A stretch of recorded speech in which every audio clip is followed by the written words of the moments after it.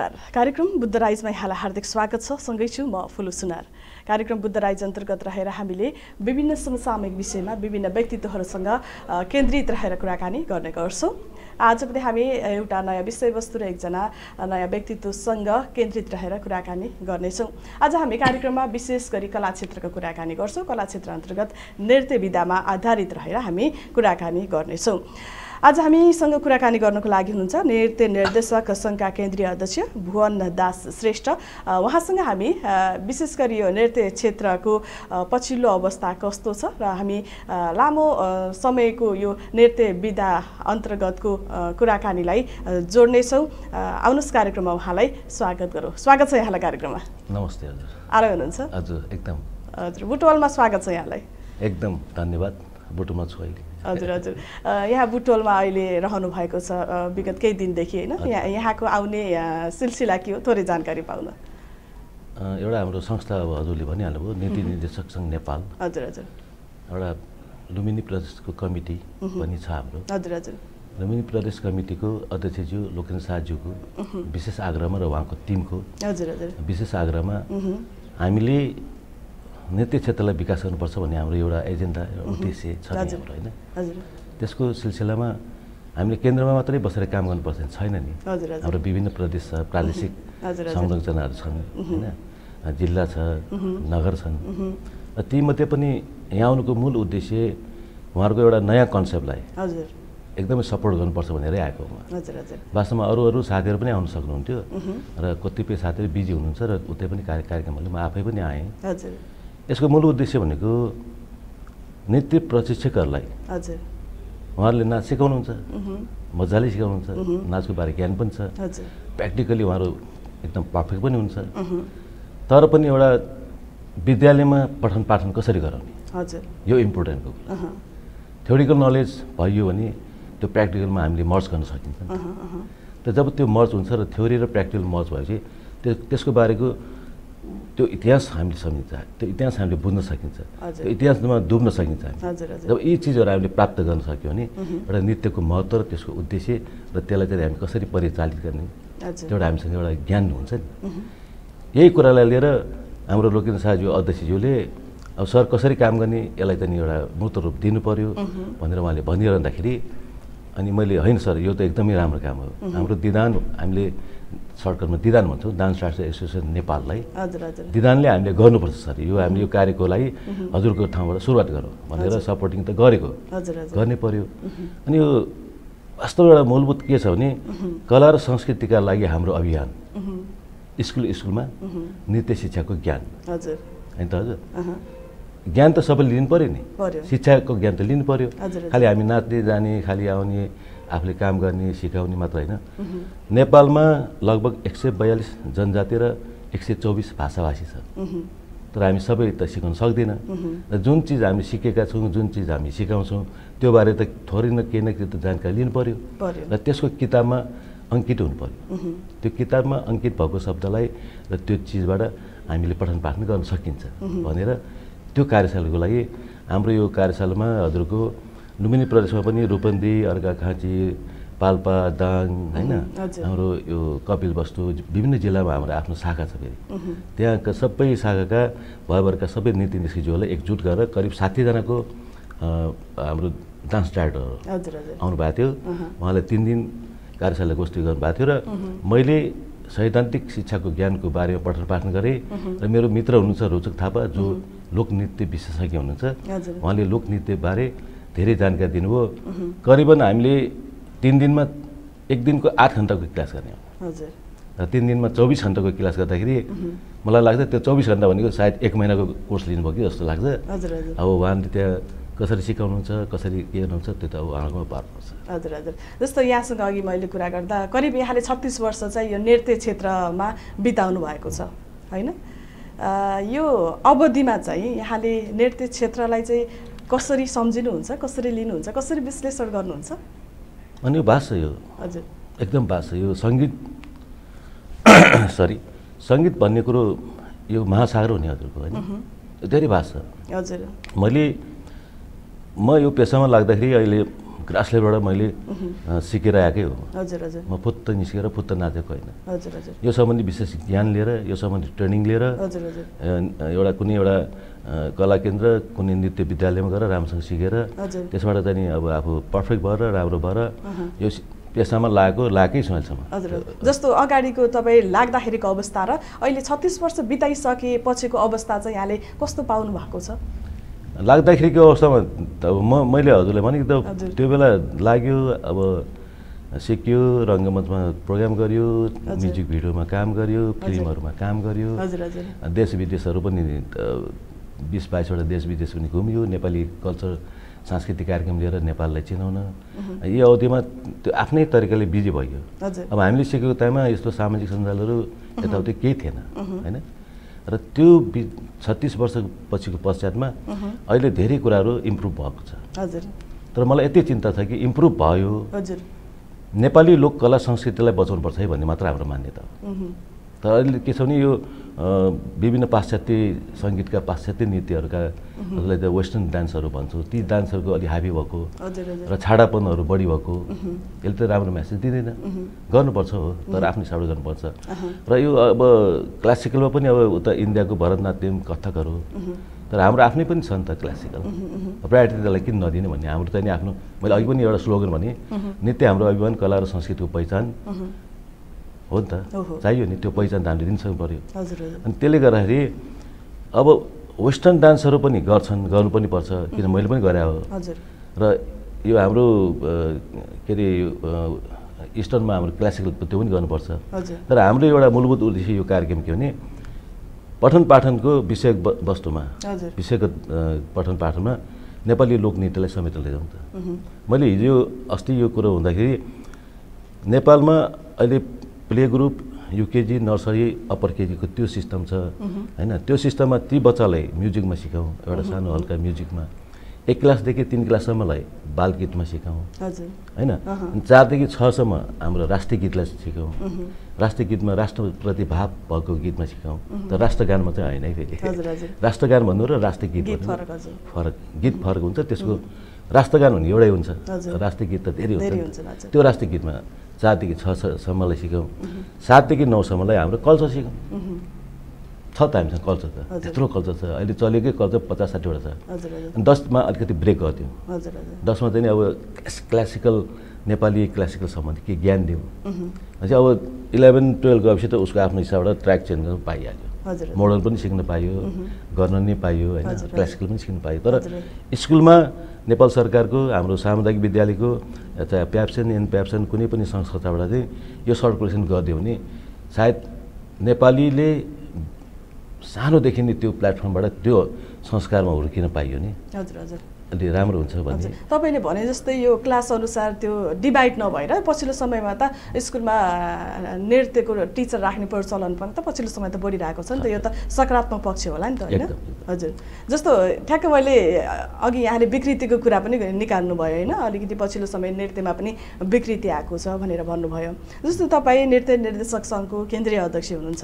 यहाँको पनि यहाँको संस्थाको पनि यहाँको व्यक्तिगत रूपमा नि छत्तिस वर्ष बिताइसक्नु भएको छ। अलिकति यो क्षेत्र सुधार्नको लागि यहाँले के कस्तो भूमिका खेल्नुपर्छ जस्तो लाग्छ सर? हजुर। मैले अघि भर्खर भने। हजुर। मैले मात्र खेलेर भयो नि त। खेल्ने मान्छेले खेल्नु पऱ्यो नि त। हजुर हजुर। मैले खेलेर मैले गरेर मेरो मैले जुन कुरा बोलिरहेको छु त्यो कुरा सबैले लागू गर्न सक्यो भने त त्यो अटोमेटिकली त्यो आइहाल्छ त्यो सिस्टम आउँछ नि त। हजुर हजुर। अब हाम्रो नीति सङ्घ नेपालको अहिले जति पनि अब प्रदेशहरू हुनुहुन्छ जिल्लाका हुनुहुन्छ हाम्रो नगरका हुनुहुन्छ साथीहरू सबैजना नै लोक संस्कृति बजाउने भनेर आएको नि त। हजुर हजुर। अब एउटा सिस्टम त आयो नि त हजुर हजुर। त्यो पहिला थिएन। अब हामी हामीले पनि अब स्ट्रगल गर्दैछौँ। हामीले पनि त्यसलाई एउटा मूर्त रूप दिन हामी पनि लागिरहेको छौँ। तर हाम्रो साथीहरू सबैजना ल भोलि यो खालि हामी वेस्टर्न मात्रै गरौँ भने त्यो त उसले भन्दै भन्दैन। ऊ त लोक संस्कृतिको लागि नै आएको लोक नृत्य कलाको लागि नै आएको सांस्कृतिक विकासको नै आएको। त्यो एउटा कन्सेप्टमा अलि डाइभर्ट भयो उसले अलिकति उसको माइन्ड चेन्ज भएपछि अब मैले यो गर्नुपर्छ है भनेपछि त्यो अडान चाहिँ हामी लिने हजुर हजुर। यो यो एउटा किसिमको कुरा भयो होइन?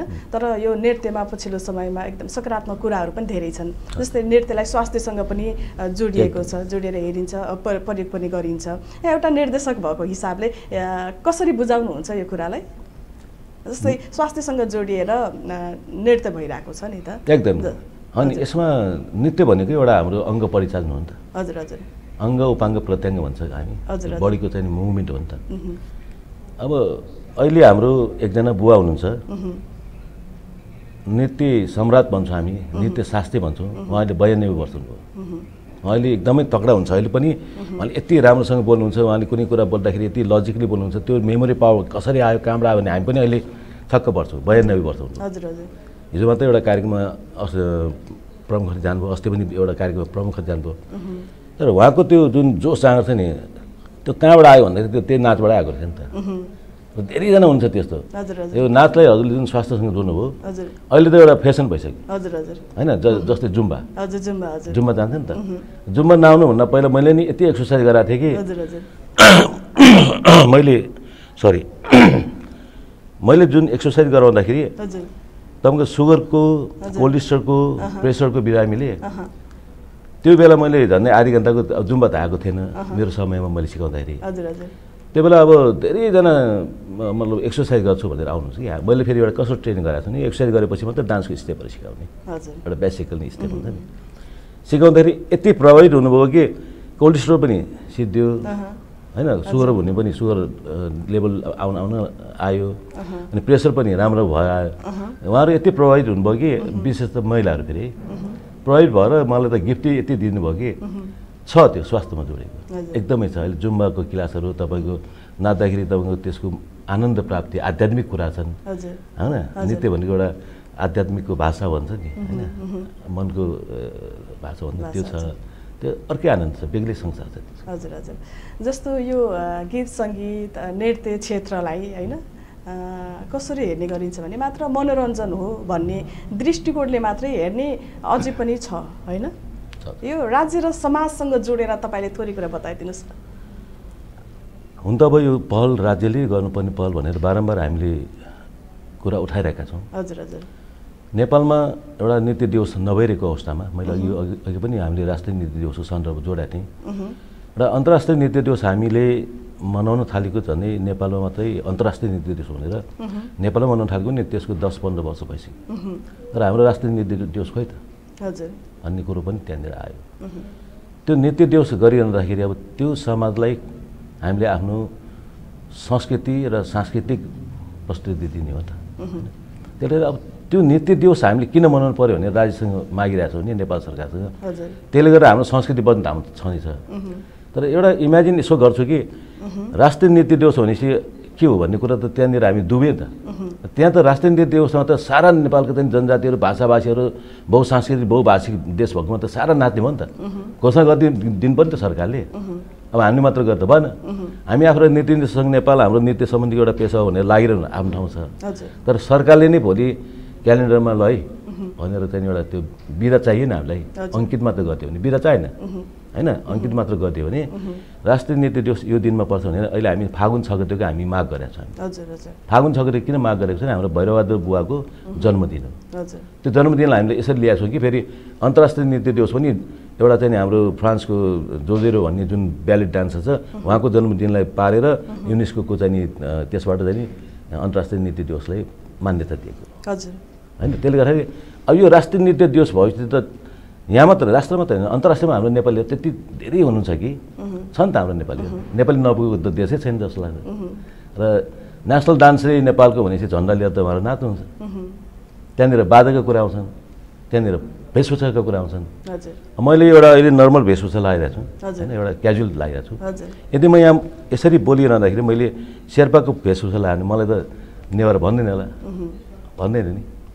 मैले शेर्पाको लानु मलाई शेर्पै भन्छ पहिचान त्यो भेषभूषा दियो त। दिएन। दियो नि। अब हजुरलाई चाहिँ अब आफ्नो फर्मल क्याजुअल ड्रेस लगाउनु भएको छ हजुरले एउटा तामाङको ड्रेस लगाउनु भयो भने। यो त तामाङनी बहिनी पो रहेछ।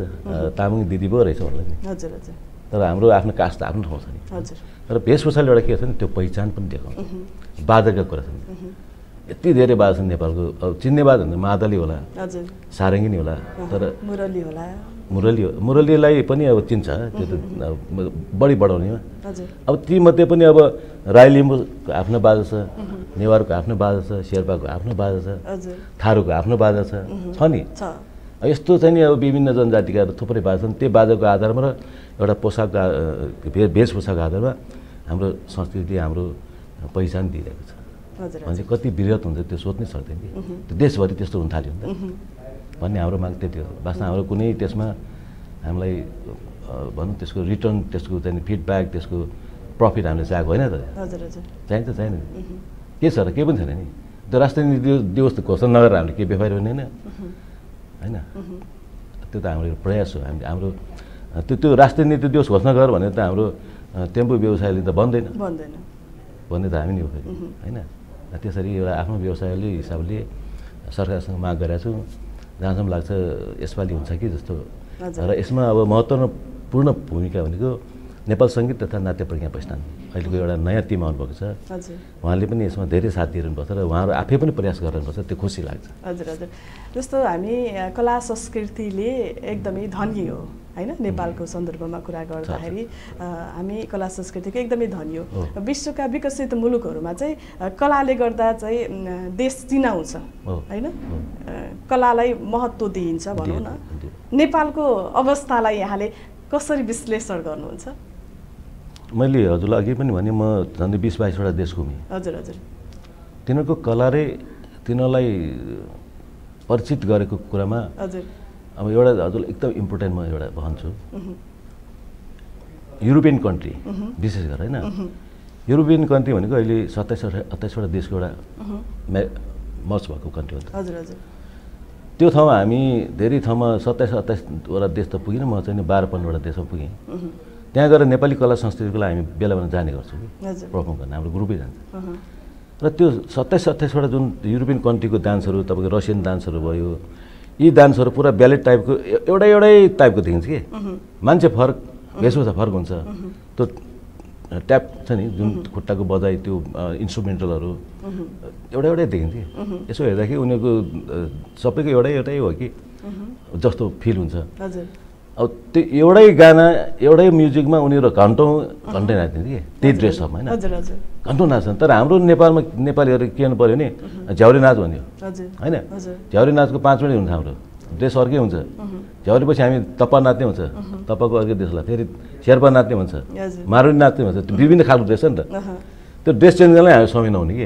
उनीहरू एउटै ड्रेसमा एउटै त्यो स्टेपिङमा दिनभरि नाच्दा उनीहरूले के समस्या हुन्छ? फेरि हाम्रो त फेरि यति नेपालमा बिबोइङ के नाच्छ हाम्रो झ्याउरे नाच्छ नि त। होइन? त्यसको स्पिड तपाईँको त्यो त्यसको जोस त्यसको त्यसको बिटहरू मादलको बिटहरू होइन? त्यो बिबोइङ त अब आफ्नो त्यो रिडम हिसाबबाट ऊ पनि त उसको पनि। अनि यस्तो यति कल्चर छन् कि त्यो त्यो एउटा कल एक घन्टाको कल्चर हामी दसवटा नाच त्यहाँ प्रस्तुत गर्छौँ। त उनीहरूले एक घन्टाको प्रोग्राममा त्यही एउटै नाच गरेर हुन्छ भनेपछि हाम्रो चिनारी बास छ। उनीहरू अचम्म लाग्छ कुन चाहिँ देशबाट आएको भन्नु बेर छैन। कुन चाहिँ ग्रहबाट भनौँ न हजुर हजुर।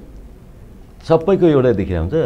अनि त्यहाँनिर हल्का डिफ्रेन्ट भनेको कि इन्डिया अब यस्तो हुन्छ पाकिस्तानको बङ्गलादेशको हाम्रो साउथ एसियन एसियनको डान्सहरूमा अलिकति डिफ्रेन्ट देखिन्छ।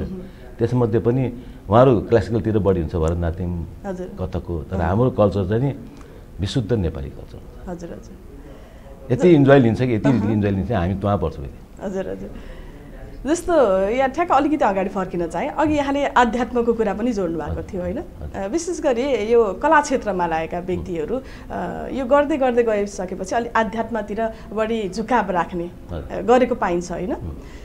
यो खासमा यो कला र अध्यात्मको अ, के सम्बन्धित छन् होइन? के सम्बन्धित छ? अथवा वितृष्णा बढेर चाहिँ आध्यात्मतिर गइन्छ कि के हो सर? यसको बारेमा थोरै जानकारी वितृष्णा कलाकारी र कलाकार र यो वितृष्णा भनेको हुँदै हुँदैन हजुर हजुर। जसले पनि गर्न पाइयो। हजुर हजुर। आध्यात्म चाहिँ किन रोजिन्छ? आध्यात्म भनेर मैले यसो भने कि तपाईँको हिजो पनि अस्ति पनि एउटा यहाँ हामी अ, मिरिगोल होटेलमा ओसुकको कार्यक्रम भएको थियो। र उहाँहरूको ओसुकको कार्यक्रम भएको थियो आउनुभयो। हामी कार्यशाला गरिरहेको थियौँ। अनि गर्दा गर्दै उहाँहरू त आध्यात्मिक हो नि त। हजुर। होइन? हामी नाचको हो। उहाँहरू आध्यात्मिक हो। अनि गर्दा गर्दै हाम्रो त्यहाँ ओसोको जो मेन मान्छे हुनुहुन्छ सर हाम्रो भोलि कार्यक्रम छ हजुर पनि आउनु होला भनेर हामीले निम्तो दिनुभयो कि। अनि के कार्यक्रम सर? हामी आउँछौँ नि के भयो? हाम्रो हामीसँग जोडेकै हो तपाईँहरू भन्ने। होइन हामी त नाच्ने हो दिनभरि। हेर्नुहोस् है नाच्ने हो भने त्यो हामीसँग जोड्ने छैन तर हामी त्यो नाच्छौँ तर बौला तरिकाले नाच्छौँ भने त त्यो नाचलाई बौला भन्नु मिल्दैन सर। त्यो तपाईँको आध्यात्मिक हिसाबबाट आत्मामा जोडिएको भाषाबाट बोलिरहेको शब्द त्यो।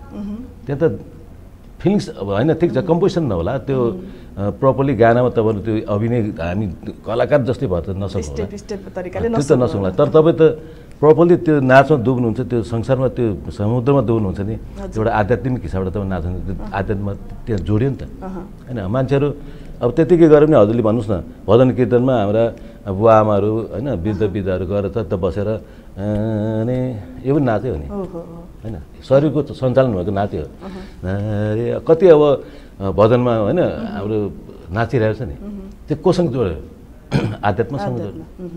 यसरी जोड जोडिन्छ कि? त्यसलाई चाहिँ हामीले वितृष्णा भन्नै मिल्दैन। वितृष्णा भनेको तपाईँको संसारै त्याग गर्ने हिसाबबाट जाने कुरो कसैले सोध्नै मिल्दैन। हामी मानव भएर जन्म लिएपछि सङ्गीतमा रमाउनै पर्छ। सङ्गीत भनेपछि तपाईँको गायन पनि हो वादन पनि हो नृत्य पनि हो फेरि। सङ्गीतलाई यसरी हामी परिभाषित गर्छौँ। सङ्गीत भनेको म्युजिक मात्र होइन। सङ्गीत भनेको इङ्ग्लिसमा म्युजिक होला नेपाली शब्दकोशमा सङ्गीत होला तर नेपाली शब्दकोशमा सङ्गीत भनेको गायन वादन नृत्य हजुर हजुर। जस्तै यहाँले लामो समय बिताउनु भएको छ यो क्षेत्रमा होइन? यहाँले यो बिताउँदै गर्दा यो नृत्य क्षेत्रको सकारात्मक पक्षहरू चाहिँ कसरी विश्लेषण गर्नुहुन्छ सर?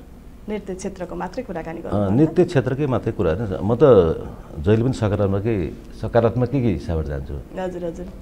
नकारात्मक भयो भने त हामी यहाँ कहाँ पुग्छौँ। यो त उसको सेन्स उसको भिजन जहिले पनि नेगेटिभ भयो भने त उसले त के गर्दै गर्ने उसको कामै उसले भएको काम र राम्रो काम पनि उसले बिगारिदिन्छ। त्यही भएर जहिले पनि सकारात्मक हिसाबबाट लाग्छु र त्यो नकारात्मक सोच कहिले पनि नहोस् पनि भन्छु र अरूलाई पनि त्यो म सजेसन दिन चाहन्छु।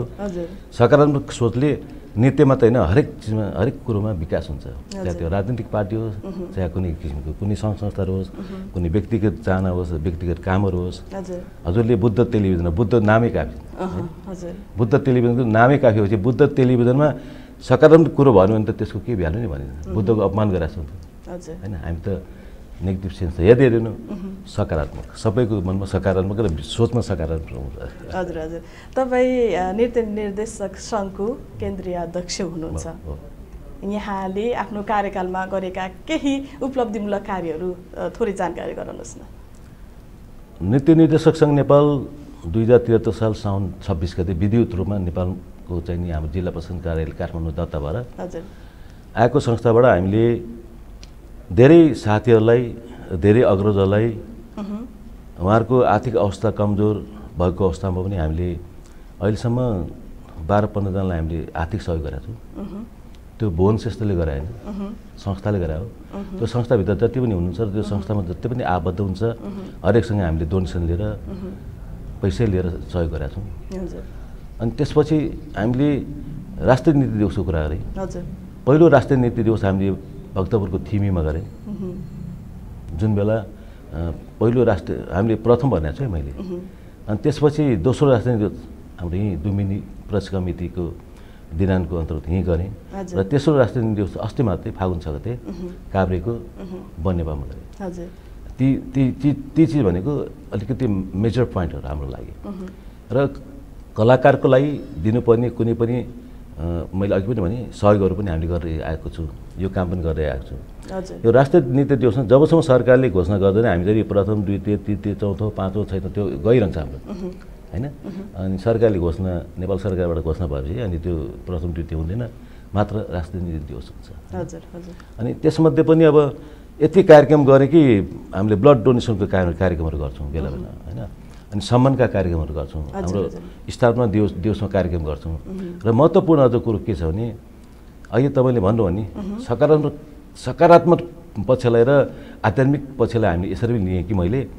हाम्रो अहिलेसम्म हाम्रो दातामा नेपालको नृत्य क्षेत्रमा लाग्नुभएका झन्डै सत्तरीजना दिवङ्ग दिवङ्गत नृत्य गुरुहरू हुनुहुन्छ। उहाँहरूको बायोग्राफी उहाँहरूको लिस्ट र उहाँहरूको चाहिँ नि सबै फोटोहरू हामीसँग छ नि। त्यो हामीले कलेक्सन गर्छौँ। त्यो चिजलाई चाहिँ नि कोही न कोही त कसै न कसैको त गुरुहरू हुन्छ नि उहाँहरू। होइन? मेरो पनि गुरु त बित्नुभयो फेरि मेरो पनि गुरु हुनुहुन्छ भनेपछि त्यो चाहिँ नि एउटा पोस्टर त्यो फ्रेममा भएको चाहिँ फोटोलाई हामीले गुरु पूर्णिमाको दिन। होइन? हरेक गुरु पूर्णिमाको दिन हामीले दीप प्रज्वलन कार्यक्रम गर्छौँ। कति आनन्द त्यो त्यो दीप प्रज्वलन कार्यक्रम गर्दाखेरि उहाँहरूको फोटो मात्रै हेरेर पनि यति आनन्द छ। हुन त त्यो त्यो ठाउँमा त एक दिन हामीले पनि पुग्नु छ। त्यहाँ त्यही एउटा फोटो त हाम्रो पनि बस्छ पछि त्यहाँ। त्यसमा कुनै विवादै छैन। र त्यो गइसकेकाहरूले त्यति सस्त सम्मान गर्दाखेरि पनि त्यही आनन्द त्यो त्यो एक दिनले वर्षभरिको दुःख त्यही हाम्रो।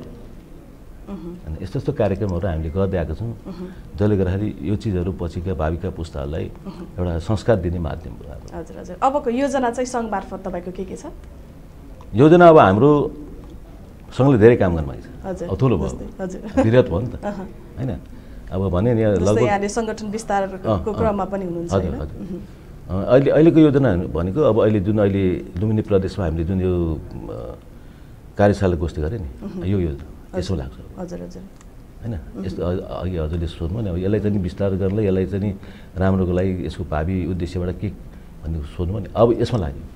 अब विद्या विद्या विद्यालयमा पठन पाठनका कुरा सुरु गर्ने। हजुर गर्ने अब। अब त्यहाँबाट सुरु भयो। लुम्बिनीबाट हामी कोसीमा जान्छौँ। कोसीबाट गण्डकी आउँछ फेरि। गण्डकीबाट कर्णाइल जाउँला। कर्णाइलबाट बागमतीमा आउँला। अब हरेक ठाउँमा भएका नीति निष्ठहरूलाई तपाईँले स्कुलमा काम गर्दाखेरि होइन त्यहाँ चाहिँ पठन पाठनको विषयलाई तपाईँले चाहिँ इन्ट्रेस्ट राख्नु। हामी अब प्याप्सनसँग सहकारी गर्छौँ। अब अहिले त सामुदायिक नगर नगरपालिकाले पनि यो अवधारणा ल्याएको छ। त्यो सात सय त्रिपन्न नगरपालिकाले यो अवधान त सबैको एउटै त होला। होइन एउटा मात्र काठमाडौँले मात्र ल्याउँदैन बुटोलले मात्र ल्याउँदैन। त्यो अवधान त सबैको एउटै होला। अब त सामुदायिक विद्यालयमा पनि अघि हजुरले भने चाहिँ सबैले कम्पलसरी डान्स राख्नुपर्छ है। सङ्गीतको विषय राख्नुपर्छ है। सङ्गीत भनेको सिप हो है। शिक्षा भनेको संस्कार हो है। हो नि? हो नि? शिक्षा भनेको संस्कार हो। सिप भनेको त उपहार हो नि हाम्रो। होइन? त्यो उपहार पाएको चिजलाई हामीले राम्रो युज गर्नु पऱ्यो हजुर। त्यसरी जाँदैछ। हजुर। जस्तो थोरै अलिकति मौलिक नृत्यको बारेमा पनि कुराकानी जोड्नु मन लाग्यो मलाई होइन? विभिन्न अध्ययन अनुसन्धान पनि भएका छन् होइन? हाम्रोमा धेरै मौलिक नृत्यहरू पनि छन्। यो संरक्षण गर्न अझै पनि सकिएन कि भन्ने कुराहरू पनि उठ्छ कि? यहाँको विचार यसमा के छ? होइन संरक्षण भइरहेछ। हजुर। तपाईँको अँ, दृष्टिकोणबाट छ संरक्षण भइरहेछ। मैले अघि भने स्कुलमा काम गर्ने जति पनि हाम्रो टिचर हुनुहुन्छ स्कुलले गर्ने कार्यक्रम चाहे त्यो प्याप्सन एन प्याप्सन इसान इसान निसान धेरै छन् संस्था र हाम्रो सही हामीलाई हामीलाई पालेकै स्कुल हो मैले अलि भने। हाम्रो साथीलाई पालेकै स्कुलले हो। हामीले चलचित्रले पनि पालेको छैन हामीलाई चाहिँ नि कुनै म्युजिक भिडियो पनि पालेको छैन। चलचित्र एउटा सीमित व्यक्तिले मात्र गर्नुहुन्छ उहाँहरूको त्यो आफ्नो फेरि नेपालमा फेरि त्यति चलचित्र बन्ने पनि होइन। अब यो मौलिक नृत्य भनेपछि तपाईँको त्यो नृत्यसँग अब यी यी कुराहरू कि वर्कसपहरू गर्ने। हजुर हजुर। हामीले वर्कसप पनि गरेका छौँ फेरि। बेला बेला जहाँ पनि अब यो नृत्यका सम्बन्धी वर्कसपहरू किनभने त्यो वर्कसप गरेपछि त्यो धेरै जानकारी पाउँछ नि त। मैले भने त अब हिजो तिन दिनको हाम्रो यहाँ लुम्बिनीको जाने वर्कसप गर्दाखेरि यो पठन पाठन सम्बन्धीको धेरै भयो। अब त्यो पठन पाठनको कुरालाई लिएर तिन दिनबाट गर्दाखेरि चौबिस घन्टाको हामीले वर्कसप दिएँ नि। त्यो चौबिस घन्टाले अब उसको लागि चौबिस वर्षसम्म पुग्यो उहुँ। होइन? त्यो हो नि त। अब मौलिक नृत्य भनेर चाहिँ नि मैले भने अब नेपालमा अघि पनि अब धेरै जनजाति हुनुहुन्छ अब एक सय बयालिस जनजाति एक सय चौबिस भाषाभाषीको सबै नृत्य त हामी सक्दैनौँ। अब तीमध्ये पनि मौलिक नृत्यहरूमा अब चलेकाहरू थारूका मौलिक नृत्य। नेवारको राई लिम्बूको हाम्रो चाहिँ नि अब यता हुड्केली हाम्रो सुदूरपश्चिमको होइन छलिया नृत्य भयो। विभिन्न मौलिक नृत्यहरूलाई हामीले तपाईँको चाहिँ अब यसलाई वर्कसपहरू दिने यसलाई कसरी हामीले सिकाउने यसको के के हुन्? अघि मैले भने नृत्य भनेपछि तपाईँको नाच मात्र होइन। होइन अब यहीँ बसेर नाच्छु त्यो त्यो नाचलाई हामी नृत्य भन्दैनौँ। त्यो नृत्य भन्भित्र पनि वेशभूषाका कुरा आयो हजुर। बाजा गाजाका कुरा आयो त्यसले गर्ने चाहिँ उसको मौलिकताको कुरा आयो उसको प्रस्तुतिकरणका कुरा आयो तालका कुरा आयो हावभावका कुरा आयो। मैले भनेको छु नृत्य भनेको मनोरञ्जनको माध्यम होइन। नृत्य भनेको गीतको भाव सङ्गीतको चाल हो। बुझ्नुभयो नि? त्यति हो त्योभन्दा बढी होइन। त्यो अब गीतको भाव सङ्गीतको चाल भन्दाखेरि गीतको सुर लय ताल वाद्यवादनको ताल होइन? अभिनय नवरसको नक्कल हजुर। श्रृङ्गार गर्ने वेशभूषा लाउने हाम्रो शरीरको विभिन्न अङ्ग उपाङ्ग प्रत्याङ्ग भन्छ हामी। सबै भागलाई। अङ्ग उपाङ्ग प्रत्याङ्ग परिचालन गरी विभिन्न माध्यमबाट विभिन्न किसिमको मुद्रा लिएर नाच्नेलाई हामी के भन्छौँ? नृत्य। हजुर हजुर।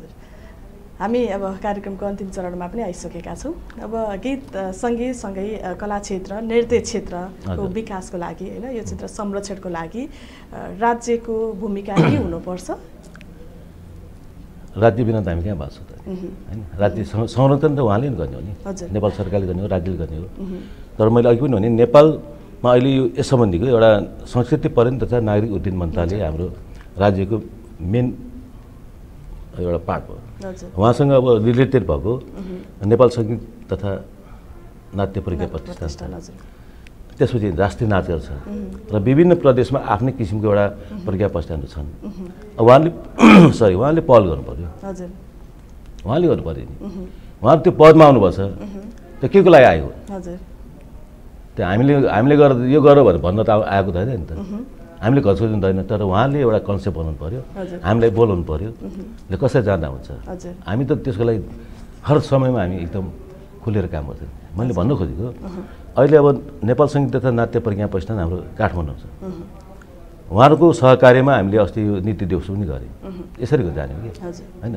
उहाँको सहकार्यमा म अस्ति मात्रै सु सुर्खेतमा लोकनृत्य र शास्त्रीय नृत्य कार्यशाला गोष्ठी अस्ति मात्रै सुर्खेतमा गएर आएँ उहाँहरूको विभिन्न विधा छन् लोक संस्कृतिका छन् शास्त्रीय सङ्गीतका कुरा छन् उहाँहरूको विभिन्न अहिले यति धेरै काम गरि गर्नुभएको छ अहिलेको टिमले अब यसरी स्पिडली काम बेलामा नभएर मात्र हामी अलिकति ब्याक भयो नि त। पहिलेको प्राज्ञज्यूले यति स्पिड काम गरिदिनु भएको भए सायद योसम्म धेरै कुराहरू अलिक हजुरले भने मौलिक र नृत्य क्षेत्रको विकास धेरै हुन्थ्यो कि। नृत्य मात्रै होइन सङ्गीतकै विकास हुन्थ्यो। अब अहिले त यति बिजी सरी यति बिजी हुनुभयो कि कोही लोकसङ्गीतका कोही कता लागेको छैन कोही हाम्रो शास्त्रीय सङ्गीत कति लाग्छ अब नृत्य विभागको सर हामीसँग जान्छु अब यसरी नै हो कि विकास हुने? होइन विकासको लागि हामी रोक्नै हुँदैन। बुटोलदेखि नानगाडसम्मको बाटो अहिलेसम्म बनेको छैन। सङ्गीत यो हाम्रो पनि त्यस्तै भइरहेको छ। किन नबनेको नि? नेपाल सरकारका कुरादेखि लिएर त्यहाँभित्र आउनुभएका नेपाल सरकारका प्रतिनिधिहरू प्राज्ञहरू गीत सङ्गीतका प्राज्ञहरूदेखि लिएर हजुर।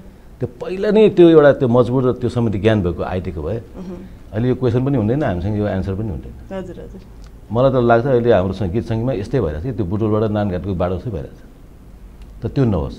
अब अबको टिमले नेपाल सरकारको टिमले नेपाल सरकारबाट प्रतिनिधि पठा पठाएको टिमले अब राम्रो गर्छ भन्ने हामीलाई आशा छ। हस् यहाँले महत्त्वपूर्ण समय दिनुभयो र संवाद गर्नुभयो। यसको लागि धेरै धेरै धन्यवाद व्यक्त गर्न चाहन्छु। एकदम। म्यामलाई पनि हजुर धेरै धेरै धन्यवाद। मलाई सानो समयमा छोटो समयमा धेरै कुरा बोल्न सिक्न र सिकाउनु भयो र पाएँ।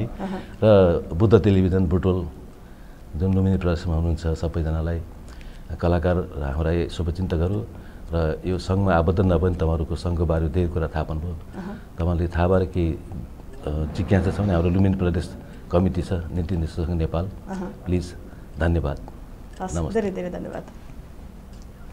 आदरणीय दर्शक महानुभावहरू आज हामी कुराकानी गऱ्यौँ समग्र कला क्षेत्र र नृत्य विधाको विषयमा आज हामी कुराकानी गऱ्यौँ। नृत्य निर्देशक सङ्घका केन्द्रीय अध्यक्ष भुवन दास श्रेष्ठ उहाँको नृत्य क्षेत्रको लामो अनुभव र यस क्षेत्रका विविध विषयसँग केन्द्रित रहेर कुराकानी गऱ्यौँ। विशेष गरी धेरै धेरै धन्यवाद व्यक्त गर्न चाहन्छु नृत्य निर्देशक सङ्घका केन्द्रीय अध्यक्ष भुवन दास श्रेष्ठज्यूलाई। र आजको कार्यक्रमको निर्धारित समय सकिसकेको छ। भोलि फेरि बिहान यस्तै एकजना नयाँ अतिथि र नयाँ पाहुना र नयाँ विषयवस्तुको साथमा तपाईँको माझमा हामी उपस्थित हुनेछौँ। तबसम्मको लागि हामी सम्पूर्ण युनिटलाई बिदा दिनुहोस्। हेर्दै गर्नुहोस् बुद्ध सामुदायिक टेलिभिजन। नमस्कार।